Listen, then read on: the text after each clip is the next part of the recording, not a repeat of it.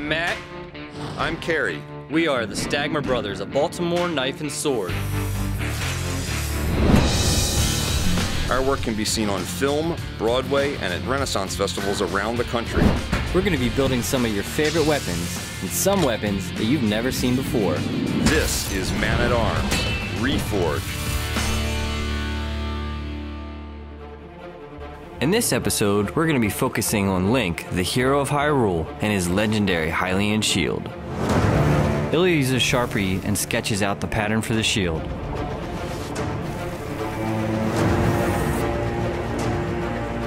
He then moves on to the Beverly shear to cut it out. Since Ilya freehand drew the shield, we decided that we better check it for symmetry. I make a quick paper pattern up and just check it along the fold line. So since we've got the sides right, I'm just gonna take this off, gonna go to the sander and deburr it just to take that sharp edge off the back so we can handle it without being cut. Using a shallow dishing plate, Ilya begins to form the shield. To give the shield the shape, I'm utilizing the hardy hole in the anvil and a dishing stake.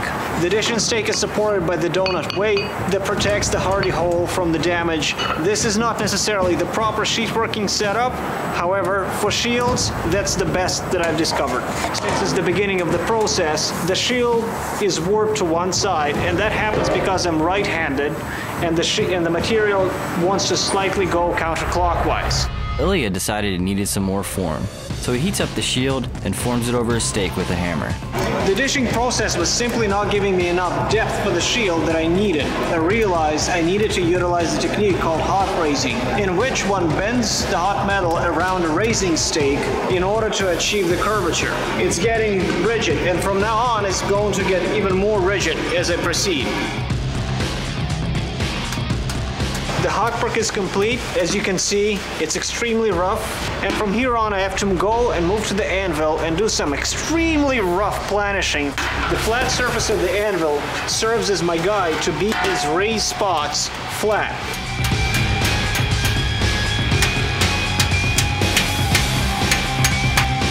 At this stage, I'm going to use what is called an English wheel to complete my planishing process. This particular one came from the MG factory in England. However, the use of the English wheel dates back to the 17th century.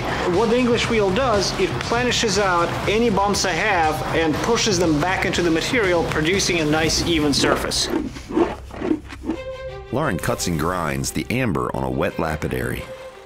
We've decided to use real amber because it's got a sheen to it that shows up really nice on camera. Once we get it polished, it has an iridescence that almost glows. Now that we've finished cutting, we're going to take it and polish it. We use a yellow rouge, which is good for soft stones and plastic.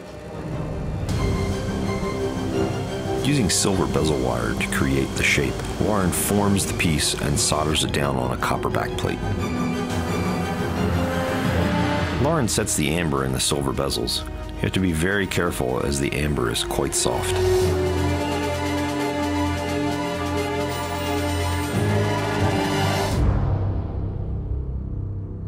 For Link's shield, I have to draw the outside border. So here's the dimensions that he gave me to work from.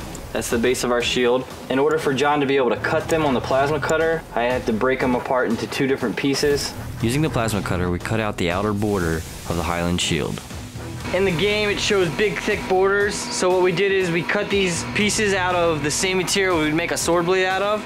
After cutting, it's now time to deburr the overlays. I now add my steep bevels to the inside to give it that really thick in-game look. It's time to form the overlay over the shield. The best way to do that is to heat up the overlay till they're red hot, almost melting, and slowly creep up the edges of the shield using a set of clamps and tongs so that the pieces fit tightly together. What I'm going to do is I'm going to raise the surface of the metal according to this pattern and create this sharp ridge. Now that the pattern is traced to the back of the shield, it's time to emboss it. Here, Ilya's using the Famco kick press to do the outside embossing. He's tracing his outside lines to capture the design.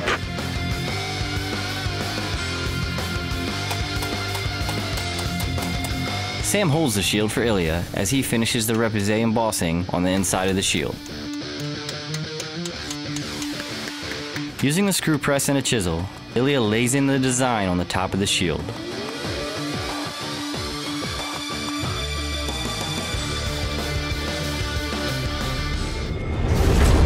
Using the MIG welder, Ilya attaches the outside border to the base of the shield.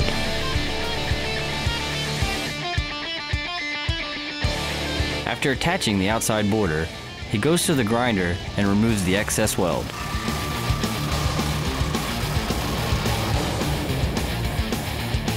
Ilya uses the drill press to lay in our central holes for our rivets. He then moves on to the welder and welds the rivets permanently into place. We weld in braces on the inside of the shield to prevent it from warping during the quench. Ilya lowers the shield into the furnace and waits for it to heat up. Thought it would be a great tie-in for this shield to build the original Master Sword.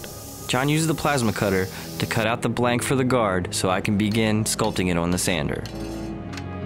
In a previous episode, you guys saw Tony make a longsword version of the Master Sword. I noticed in the comments that a lot of you requested to see the original Master Sword, which is a one-handed sword. It's also red and gold. Instead of doing it in wax and casting it, I thought it would be cool to show it being ground out of a solid block. So this is a big old block of steel.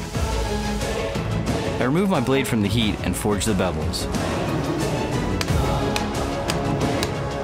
I then go back to the forge and move to the power hammer and draw out my tang.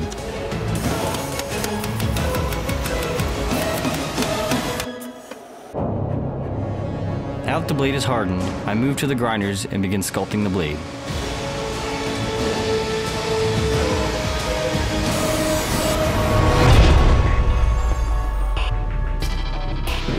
What we did is we lined a barrel with Kaowool to make a big enough heat treat furnace to heat treat this shield. We're gonna take a big risk and heat treat this into water. We're going to quench the shield. The shield is going to get very hard up on the quench, after which we're going to temper. This is a crucial step to producing armor that can withstand combat. Once it reaches temperature, he removes it from the furnace and quenches it in water.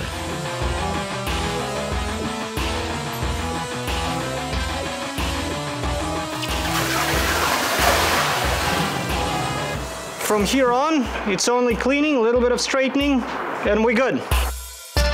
Observing the color changes from the front, I guide Ilya as he heats the shield from behind. We're looking for that straw, maybe slightly into the plum color.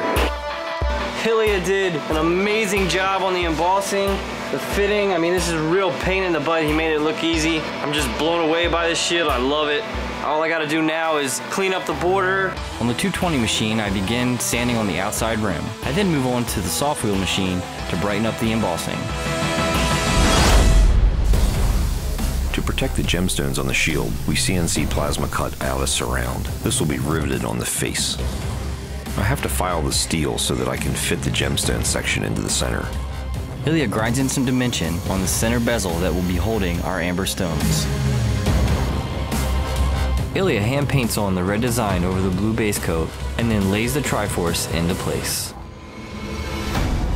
I've seen a lot of different replicas of this shield made. Most of them look like plastic toys. I think we've gone above and beyond all that and made a shield that looks like it really would have been used in the medieval times.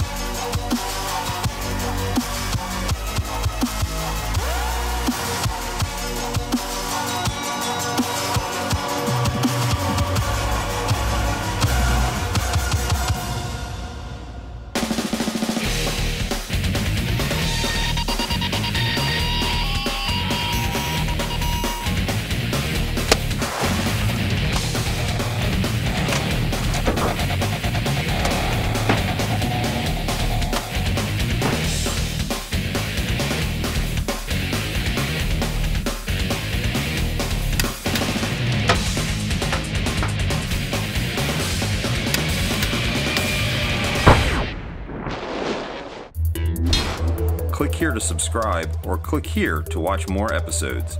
Thanks for watching Man at Arms Reforged. We need to know what you want the guys to build, so tell us in the comments below what weapons you want to see next.